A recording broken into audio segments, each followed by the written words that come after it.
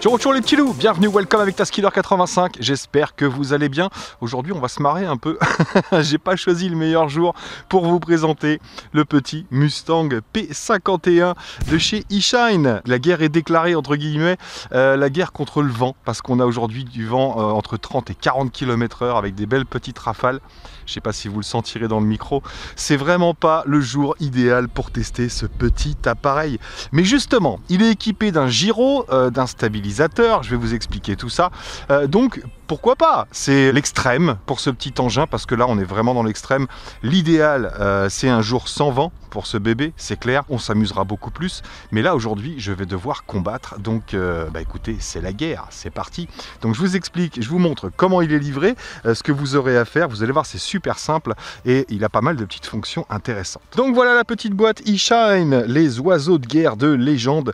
donc il y aura peut-être plusieurs modèles au choix. En attendant, là, celui-ci ressemble vraiment au P51. 40 cm d'envergure, environ 60 grammes pour l'engin sans la batterie. Un petit moteur 10 mm, brushed évidemment.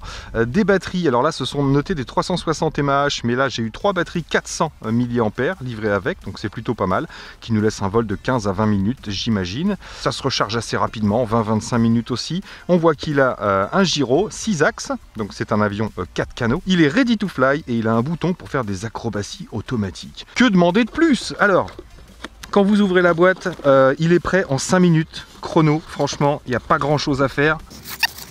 D'un côté, vous aurez la radiocommande avec un tournevis, plus une hélice de rechange super intelligente l'hélice vous allez voir. Euh, donc les trois batteries il est disponible aussi avec deux batteries. Euh, il vaut dans les là en ce moment il est en promo en vente flash euh, mais il sera disponible que courant juillet. Vous, vous pouvez passer commande quand même mais il ne sera expédié qu'au mois de juillet. Il est dans les 68 euros en ce moment en RTF donc plutôt pas mal. Une petite notice assez simple qui va vous donner euh, les, principes de base et quelques petits, euh, quelques petits conseils pour le vol, c'est-à-dire déjà ne pas voler avec un vent comme aujourd'hui.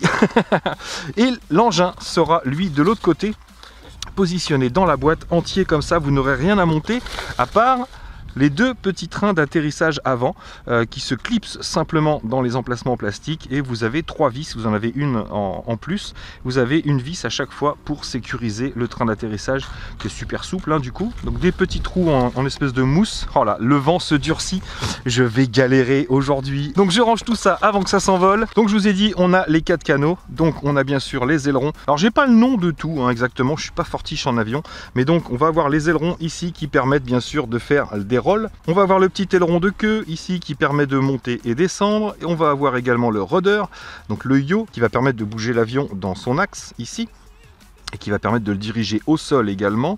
Et le quatrième canal, c'est bien sûr pour euh, le moteur. Donc c'est bien un 4 canaux. On a toutes les directions possibles. Ici, le petit emplacement de batterie. On a une petite coque bien épaisse donc ça m'a l'air costaud en tout cas. Apparemment, il est difficile de le péter cet avion. Il est vraiment bien équipé et il a une sécurité que je trouve géniale. Euh, on le verra certainement en vol, mais je peux vous le montrer tout de suite. Quand l'avion est en route et que l'hélice touche quelque chose, voilà ce qui se passe. L'hélice va s'éjecter tout simplement car elle est clipsée. Donc on a une mini boîte de transmission à l'intérieur, ce qui fait qu'on n'est pas directement sur le moteur. Et on va pouvoir, tac, clipser l'hélice dessus ce qui fait qu'en cas de contact et de rapport de force, l'hélice va s'éjecter, que ce soit sur un atterrissage ou sur un contact. Donc ça va éviter non seulement d'abîmer l'hélice, mais ça va éviter également de forcer sur l'axe et sur le moteur. Donc ça, c'est plutôt bien trouvé. La radiocommande, eh bien écoutez, mode 2 à la base. On va pas pouvoir passer en mode 1. On a bien sûr le roll ici, le pitch, le yo et l'accélérateur, le throttle, donc bien sûr un throttle libre, puisqu'on n'a pas de maintien d'altitude, bien évidemment. On va avoir des boutons de trim, ces trois boutons sont les boutons de trim pour pouvoir ajuster si jamais c'est pas tout à fait aligné au niveau des ailerons, etc. On va avoir trois modes de vol, donc vers vous, on va avoir le mode débutant où là on va être complètement stabilisé il va pas être possible avec les sticks de faire des acrobaties bien sûr puisque l'avion ne pourra pas se retourner. Donc c'est beaucoup plus simple pour débuter. On va avoir un mode intermédiaire au milieu. C'est un peu comme le mode horizon sur un racer FPV euh, c'est à dire que vous allez être stabilisé mais vous pourrez quand même faire certaines figures comme le looping par exemple en plein vol, il vous permettra de vous retourner. Et on a le mode expert où là, on va être en manuel complètement. Donc là, ça s'adresse vraiment à des gens qui, s'y connaissent. Mais bon, l'avantage, c'est que euh, en pilotant, à tout moment, vous pouvez tester l'expert. Et si vous avez un doute, paf, vous repassez en mode euh, débutant et l'avion va se stabiliser ça vous évitera certainement quelques crashs. Et on a le bouton magique sur la gauche ici, Aerobatics. Ce bouton sert un petit peu euh, comme le bouton flip auto, euh, flip automatique sur euh, les drones loisirs qu'on a eu l'occasion de tester ensemble. C'est-à-dire que là, si vous avez une vitesse suffisante en mode débutant ou même en mode intermédiaire, vous allez appuyer sur ce bouton, vous allez avoir un bip bip bip bip bip. Pendant ce temps-là, vous mettez une direction. Donc si vous faites droite ou gauche, l'avion va faire un tonneau automatiquement. Et si vous poussez vers le bas, l'avion va automatiquement faire un looping tout seul. Donc ça, je vous conseille bien sûr de le faire assez haut et euh, de le faire quand il n'y a pas trop de vent, comme aujourd'hui. Sinon, on va pouvoir calibrer le gyro euh, une fois qu'on aura mis l'avion en route et la radiocommande avant de prendre le contrôle. Pour prendre le contrôle de l'avion et pouvoir démarrer, il faudra faire haut, bas avec le stick de gauche, avec le throttle. Mais avant ça, quand vous mettez l'avion en route et que vous mettez la radiocommande en route, avant toute chose, vous allez pouvoir euh, régler le gyro, c'est-à-dire calibrer en mettant les deux sticks en bas à droite.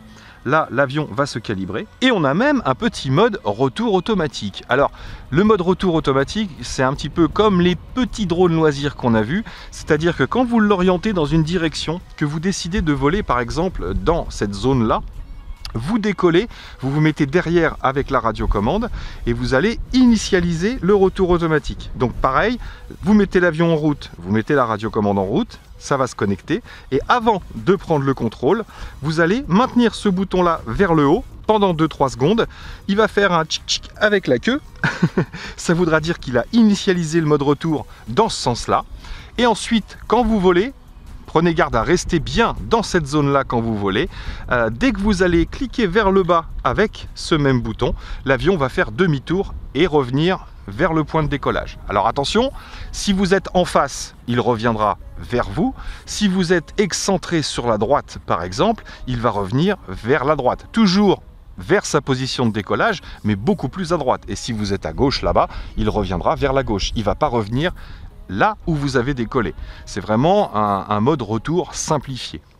Et il va surtout pas atterrir bien sûr. Donc voilà, vous savez tout, on va mettre ça en application et euh, ben, à mon avis, euh, je vais bien galérer. Euh, je vais peut-être même pouvoir dans ce sens-là, vu la force du vent, faire du stationnaire. il y a des chances. Allez, c'est parti. Bon, on va essayer et si jamais il y a trop de vent, on essaiera de revenir demain matin. il y a généralement un petit peu moins de vent le matin. Donc, oh là là là là, ça se met à souffler. Donc petite batterie 3 v 7 400 mAh. Donc bien sûr, je vous l'ai pas dit, mais vous avez le chargeur USB de fourni. Donc je connecte la batterie, j'envoie la batterie tout au fond. Tac, et on est bon. On va le placer sur une surface droite ici et on va calibrer. Tac, voilà, là il a calibré.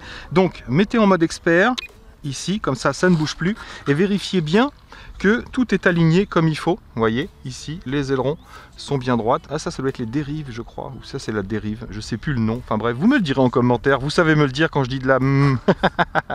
Donc vérifiez que c'est bien droit. Vous pouvez l'aligner avec le trim, bien sûr, sur la radiocommande. Et sinon, vous allez pouvoir, hop, si vous avez une grosse marge, vous allez pouvoir régler avec ces petits U ici, en les écrasant un peu avec une pince ou en les écartant un peu avec un tournevis, vous allez pouvoir jouer également sur l'alignement.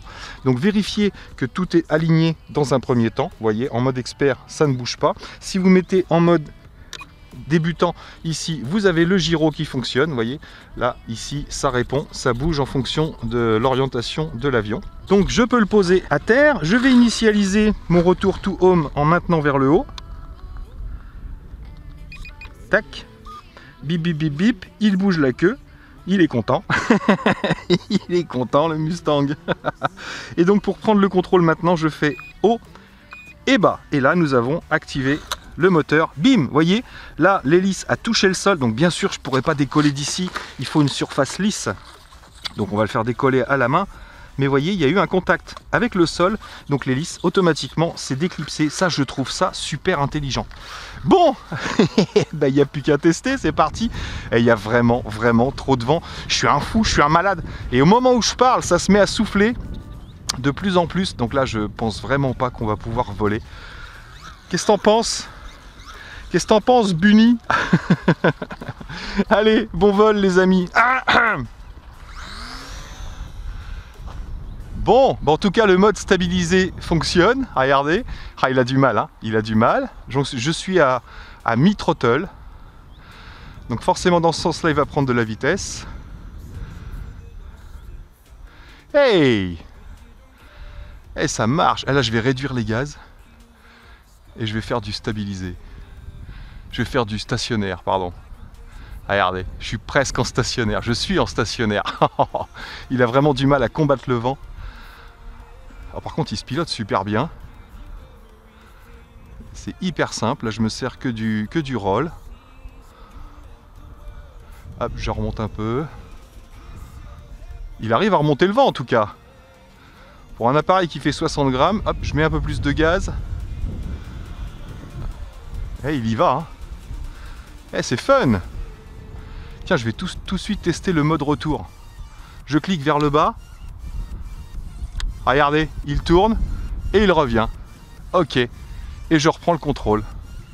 Donc le mode retour automatique fonctionne. C'est plutôt pas mal. Je vais l'emmener un peu plus loin. Apparemment, il prend un peu d'altitude aussi quand on fait le mode retour. Regardez, j'essaye de le garder dans l'alignement. Je clique vers le bas. Il tourne. Et il revient. Ah mais là, il était à droite, donc euh, forcément, il revient vers la droite. Ah, je fais concours avec une mouette, regardez. Je vais faire la course avec la mouette. Mouette Je connais pas son prénom. Bon, super, ça, ça fonctionne Avec le vent qu'il y a, on va tester euh, une figure automatique. Donc je vais le mettre dans l'alignement. Ici, je clique là et je fais roll. Et non, j'ai pas assez de vitesse ou alors pas assez d'altitude. Je pousse à fond sur le throttle face au vent. Ah, il a pas assez de vitesse.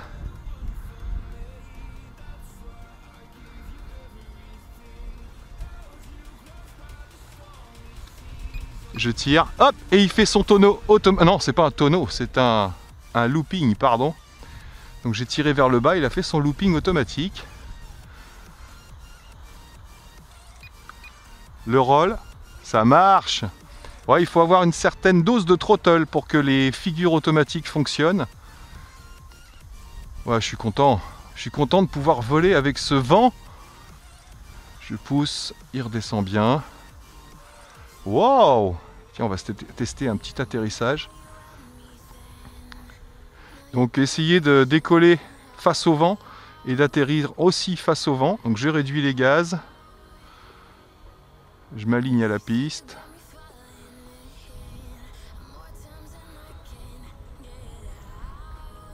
Ouais Eh ben écoutez, je suis super surpris de pouvoir voler avec ce petit engin 60 grammes, pouvoir voler avec un vent comme aujourd'hui, je suis franchement sur le cul. Oh, ça se dit pas. Sur le huc.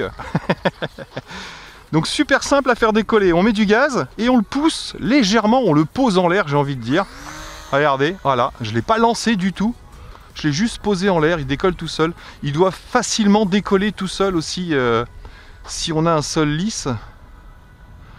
Ok, donc là, on est toujours en mode débutant. Je vais passer en mode intermédiaire. Tac, un cran vers le haut. Je mets du gaz et là je vais me tenter un roll. Ah non, pas sur le roll, d'accord.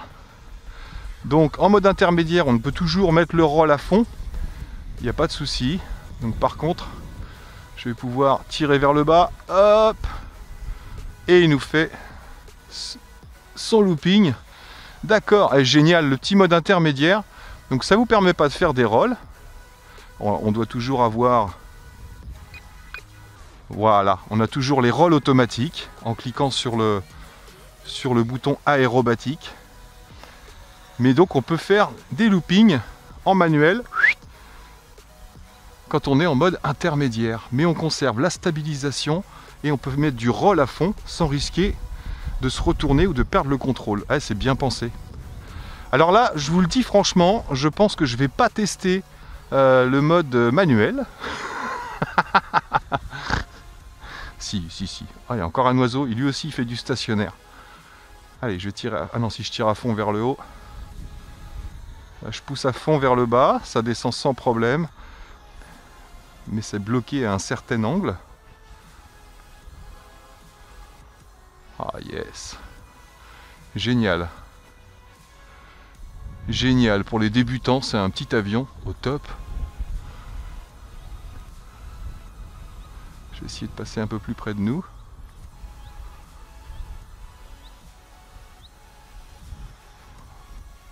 Excellent.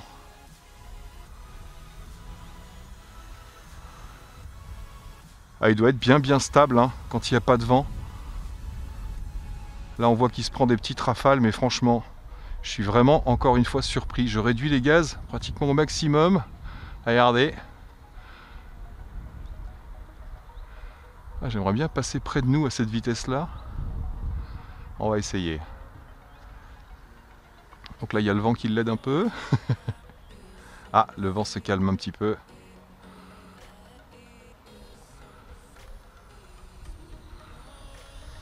Yes. Et je remets du gaz. Et il envoie quand même. Hein. Eh, je vais peut-être pouvoir tester le mode manuel là si ça, se calme un peu. Enfin en Vendée, hein, vous savez, ça se calme jamais très longtemps. Oh, c'est excellent. Allez, je vais passer en manuel. Voilà, ça va être dur de contrôler. Ouais. Je repasse. Ah, le mode intermédiaire, c'est vraiment mon mode préféré. En mode manuel, c'est vraiment trop dur. Là, il y a trop de vent. Là, l'avantage de l'intermédiaire, c'est qu'il stabilise automatiquement. Donc, euh, c'est pour ça qu'on peut, euh, peut voler avec ce vent-là sans problème.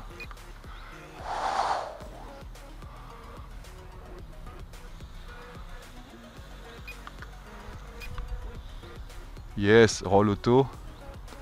Ah, c'est propre. Hein. Ouais, faut qu'il ait atteint une certaine vitesse. Et euh, comme vous l'avez vu, il perd légèrement de l'altitude quand on fait un roll automatique, donc prenez garde de ne pas être trop bas. Là je pousse à fond sur les gaz. Il a vraiment du mal. Roll auto, ouais, ça passe. Oh, il perd un peu d'altitude, pas tant que ça. On va se faire un looping automatique. Ouais. Oh, excellent. Franchement, c'est excellent. Allez, ah, je suis à fond. Ah et il doit super bien marcher quand il n'y a pas... Oh là là, regardez les rafales qui se prend, c'est grave. C'est dingue. À fond. Ah, il envoie bien quand même. Hein.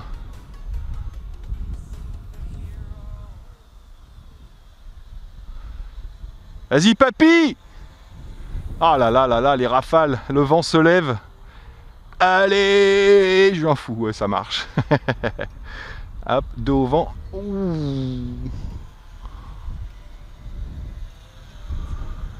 oh, le mal qu'il a. Alors, on va essayer de rester euh, près du sol.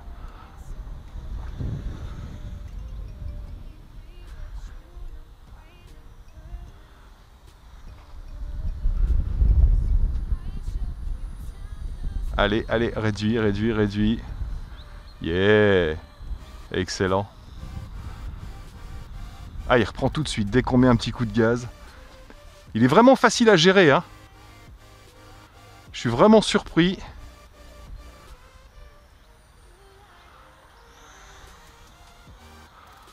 Le vent se calme. Expert. Hop, stabilisé. Dès que j'ai un doute, c'est vraiment top hein, pour les débutants.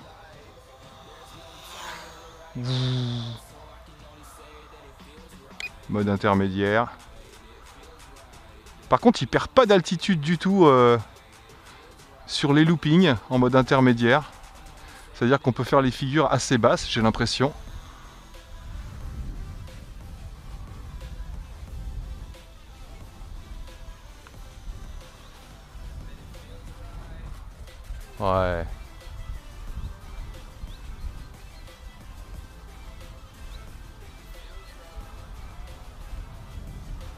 Ah, il répond bien, hein. Ah, vent de travers, vent de travers. Ah, ça doit être chaud d'être pilote en vrai, hein, avec ce vent-là.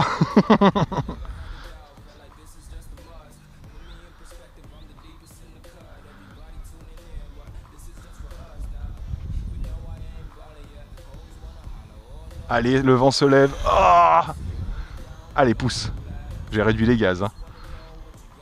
Ah, je vais me tenter un gaz à fond là en, en face au vent. Ouf Ah, il réagit vraiment bien. Là, je suis gaz à fond. J'ai hâte de le retester avec une journée sans vent. Là, je suis à 40 km/h de vent, c'est sûr. Regardez, il galère vraiment. Il galère, mais il y va. Yay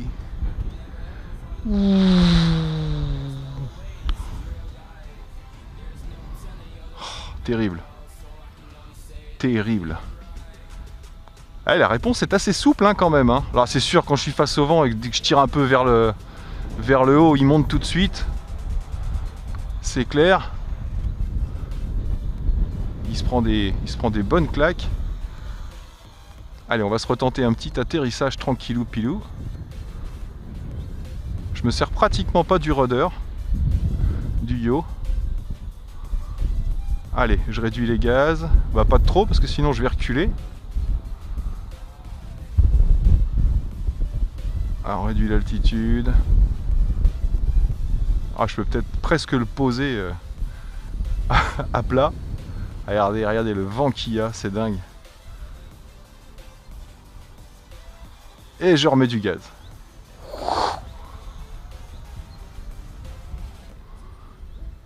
Terrible.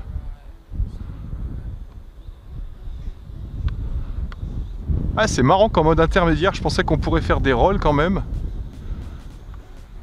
Mais non, on a accès qu'au looping. Ah, c'est vraiment pour éviter euh, de perdre le contrôle quand on débute. Regardez, je réduis les gaz, là il recule pratiquement. Je coupe les gaz, je suis au minimum, il y a toujours un, minimum throttle quand on coupe les gaz. Regardez, hop, j'en remets un peu. Ah, il y a vraiment, vraiment beaucoup de vent. Hop, et je coupe les gaz et cascade, il est tout cassé. Et génial, franchement, je m'éclate. J'ai même bien fait de tester avec ce vent. Je reclipse. Ça m'embête de ne pas pouvoir décoller là, c'est trop gravillonneux. Là, je vais le tenir comme ça, je mets du gaz et je le pose, hop, et il y va tout seul. C'est génial.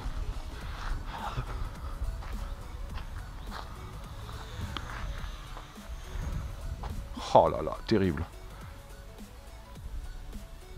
J'ai vraiment hâte de retester un, un jour euh, avec zéro vent. Ça doit être une tuerie.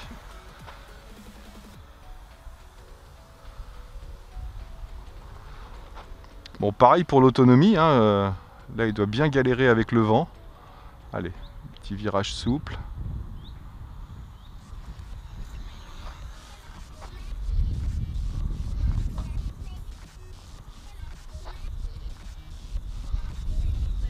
galère face au vent. Je suis obligé de repousser le stick, euh, le pitch, parce que sinon il monte.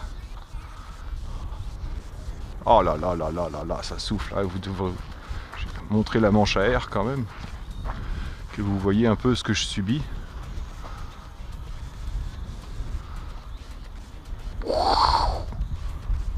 Ouais, le mode intermédiaire, c'est vraiment un mode du tonnerre. Est-ce qu'il a encore en mémoire le retour to home de tout à l'heure? Bonne question. J'essaye. Je maintiens vers le bas.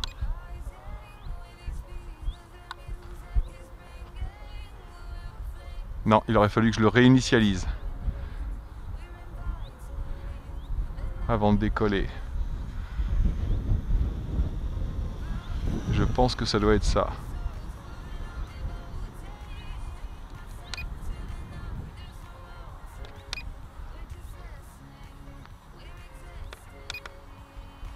Ouais, c'est ça. Il faut l'initialiser avant le décollage et après ça reste en mémoire jusqu'au prochain décollage.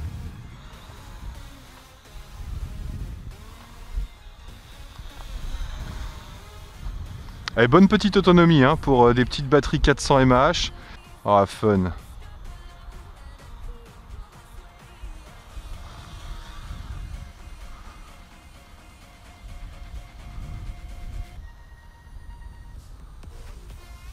Allez, Réduction de throttle.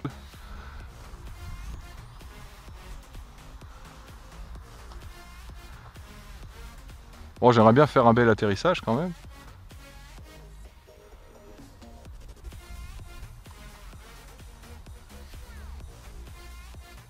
Il y a trop, trop de vent. Allez, je réduis au maximum. Ouais Un petit peu piqué, mais euh, il y a pire. bon, le moteur chauffe pas trop. Il a encore du gaz. Ah, J'ai presque l'impression que la batterie faiblit un peu.